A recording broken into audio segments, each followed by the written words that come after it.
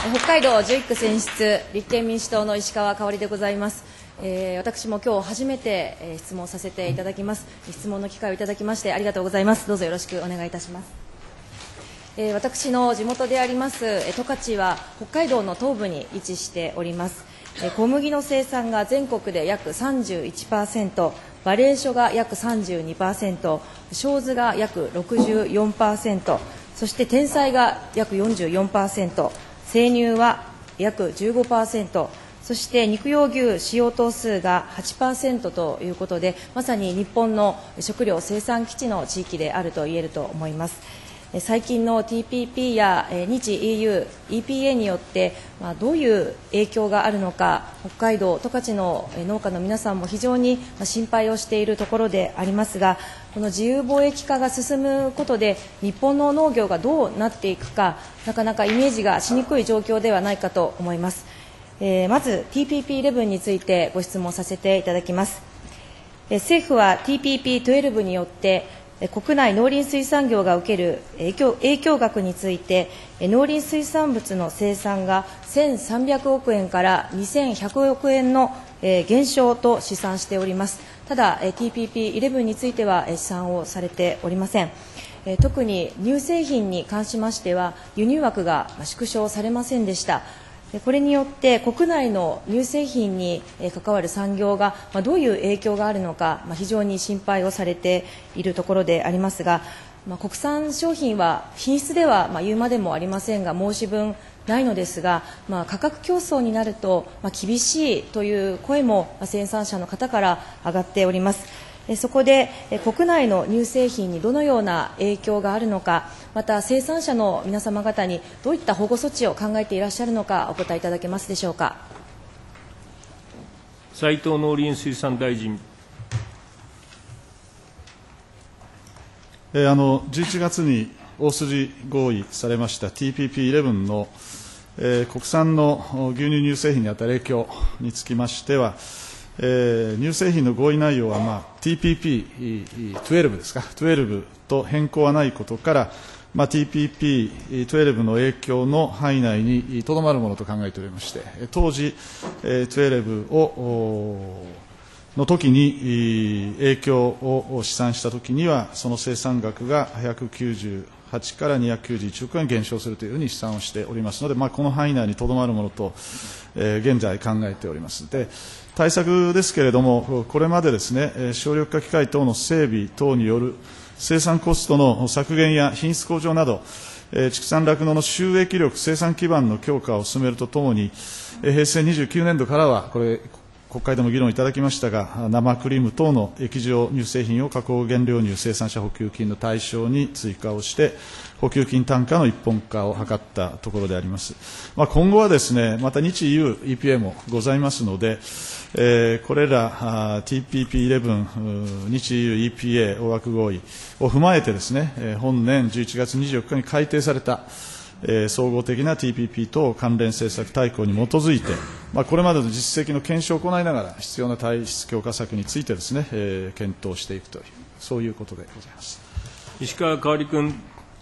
ありがとうございます。品質では絶対負けないこの国産商品を守っていかなくてはいけないということで引き続き、えー、お願いを申したいと思うんですが、えー、関連してこの TPP11 では TPP12 の効力を凍結したのは医薬品のデータ保護機関などのルール分野のみでありました。え、なぜアメリカ不在でもこの農林水産分野の合意内容を見直さなかったのか、え、お答えいただけますでしょうか。渋谷内閣審議官。お答えいたします。あのベトナムのダナンの閣僚会合であの大筋合意に至りました TPP11 でございますが、あの協定の案文上はですね、TPP12 の元の協定の条文を組み込むという形にしておりまして、その上で TPP11 で適用しない一部の規定を凍結するという形式でございます。でその際、えー、凍結項目につきましては、もともとの TPP12 の特徴であるハイスタンダードを維持すると、こういう観点から8000ページもある TPP 協定の中から知的財産関連などごく一部のルールのみを凍結することで合意したものでございます。なお、11カ国はアメリカにはいずれ戻ってきてほしいという思いで TPP11 を発行させるということであるわけですので、万一、将来のある時点において米国を含めた TPP が発効する見込みがなくなった場合には、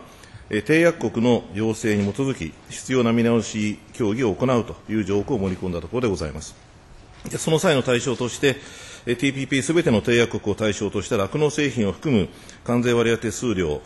などが含まれるという考え方を、閣僚全体会合の場などで、各国に、我が国として明確に伝え、理解を得ているところでございます石川かおり君。一応すみません。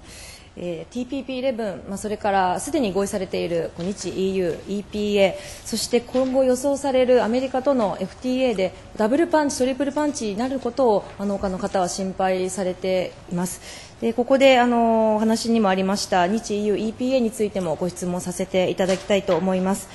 えー、平成29年11月の日 EU、EPA における品目ごとの農林水産物の影響によりますと牛肉、豚肉、乳製品、構造用修正剤については当面は輸入の急増は見込みがたいが長期的には関税引き下げの影響が懸念されるとなっております。で小麦につきましては輸入の増大は見込みがたいが小麦製品の輸入の増大が懸念をされているとなっております。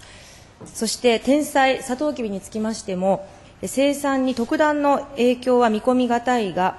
加藤調整品の輸入の増大が懸念をされているということになっています。で国産芋でんぷんへの影響も限定的と見込まれていますが長期的には国産バレー書でんぷんの価格低下が懸念されているということで政府発表の影響を拝見いたしますとの乳製品、豚肉、牛肉小麦、天才、でんぷんに関しては、まあ、大きな影響がないと政府は分析されているようなんですけれども本当に大きな影響が出ないのか、えお答えいただけますでしょうか。阿毛大臣官房総括審議官。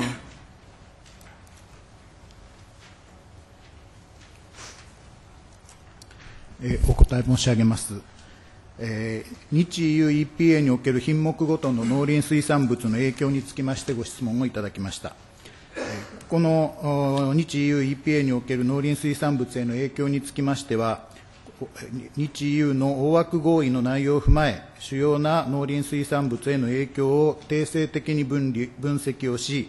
影響度合いに応じまして、まあ、4つのカテゴリーに分類をいたしております。まあ、1つは特段の影響は見込み難いもの、2つとして影響は限定的と見込まれるもの、3つ目が国家貿易の維持などにより、輸入の増大は見込み難いが、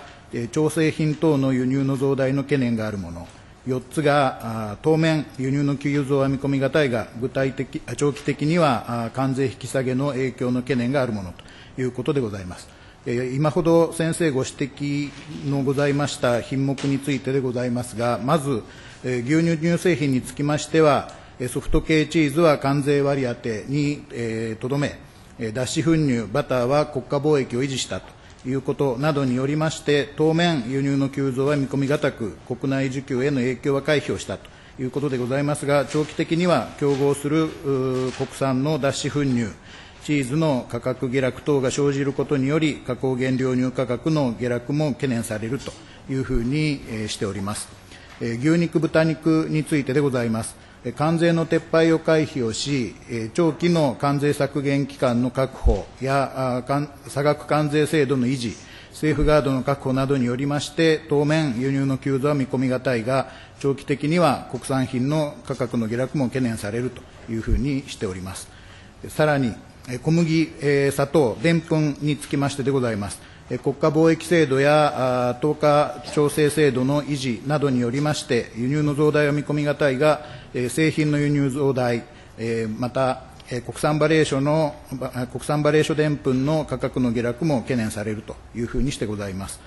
去る11月24日に改定されました総合的な TPP と関連政策大綱におきましては、これまで TPP 対策として講じてきました対策に加えまして、国産チーズの競争力を高める対策、それからパスタなど、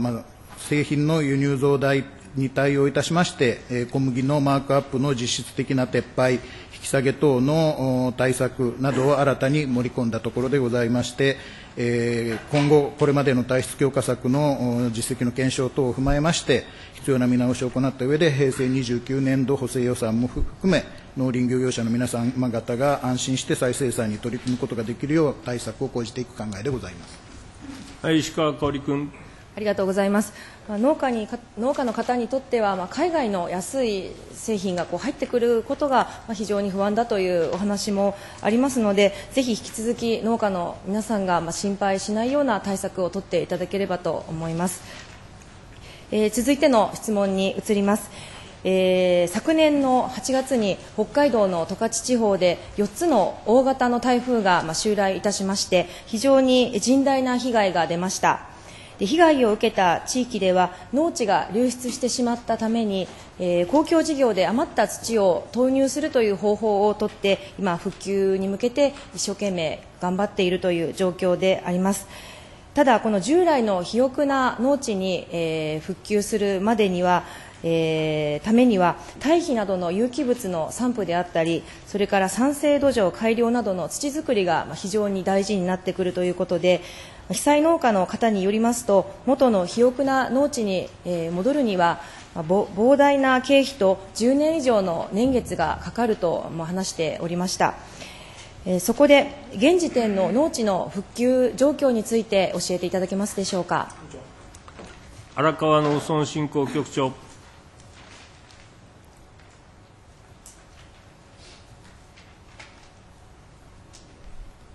お答え申し上げます。今、先生からあの昨年の夏の北海道の台風での被害につきましてご質問いただきました。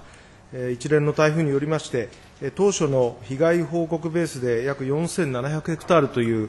当初の被害報告がございましたけれども、その後、あの精査をされたところでございまして、えー特に被害が甚大で、自力復旧が困難な農地、まあ、大体500ヘクタールぐらいだというふうに承知をしておりますが、この500ヘクタールについて、これまで災害復旧事業を進めてきたところでございます。でこのうち410ヘクタールにつきましては、すでに工事が完了いたしておるところでございまして、残りの90ヘクタールにつきましても、えー平成30年中には工事が完了して、すべての農地でえー農再開が可能になる予定だというふうに考えておるところでございます。引き続き、北海道、それから関係市町とよく市町村とご相談をしながら、早期の復旧に努めてまいりたいと考えております。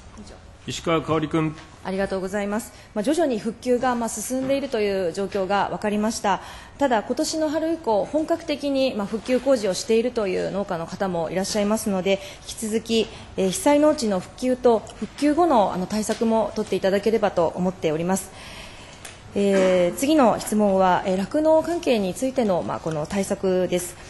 え大規模な酪農農地が酪農地帯が大きな災害災害に見舞われますと、まあ、電気や水道、交通アクセスが、ま、使えなくなることで非常に深刻な被害が出ております。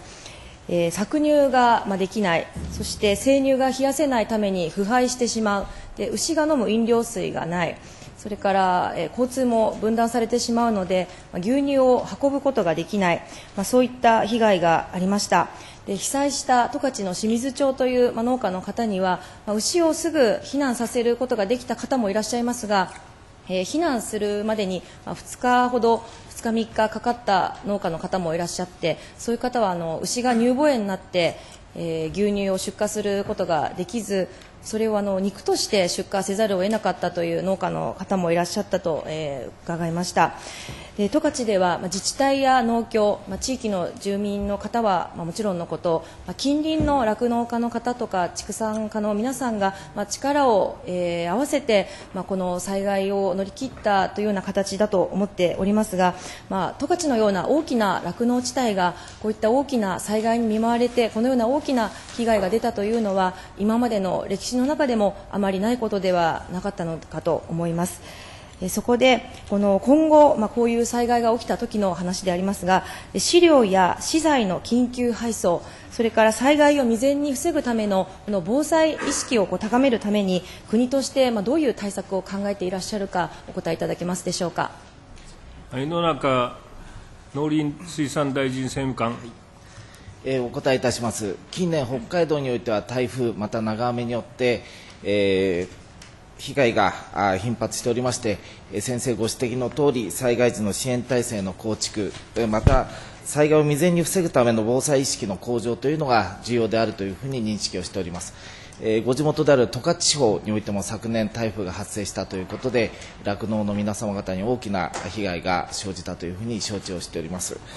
えこの経験を踏まえた上で、え本年から電気や水道、収送入体制を含めた搾乳継続計画の策定、えこれに基づく非常用電源、生乳温度のモニタリングシステム、え給水タンクの整備等について支援をしているところであります。えまた、生産現場の皆様方に対しては、えー少なくとも1週間以上家畜を使用するために必要な飼料や燃料の備蓄また貯水タンクの準備を行うこと等を指導しているところでありますまた実際に災害が発生した場合でございますけれども家畜改良センターにおいて不足する粗飼料や小石灰等の防疫資材の緊急提供そして家畜の移動のための人的支援を行うこととしております。え引き続きこれらの取り組みを通じまして、え災害時の酪農経営の影響を最げ最小限に、えー災害時の影響を最小限に食い止めるとともに、え防災意識の向上に努めてまいりたいと思います。石川かおり君。ありがとうございます。あの被災された農家の皆さんのお話を聞きますと、あくまで今もまあ復旧に向けて努力されていらっしゃるということですので、引き続きこのえー対策についても取り組んでいただければと思います。えーそれから、えさえーと最後の質問になります。えー今年北海道では秋鮭が全然取れないということで漁獲高が激減をしておりますでここ数年も言えることであったんですがこの秋鮭の定置網漁の漁獲高が10月末の速報値で過去最低と言われていた昨年をさらに下回って昨年の漁獲高の7割になってしまいました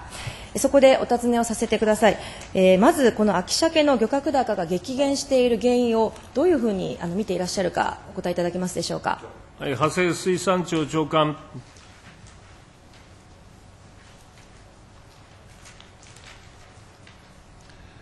えーお答えいたします。えー先生ご指摘のとおり、本年、えー10月31日現在における全国の秋鮭の漁獲量は5.5万トンと、対前年同期比の約7割となっております。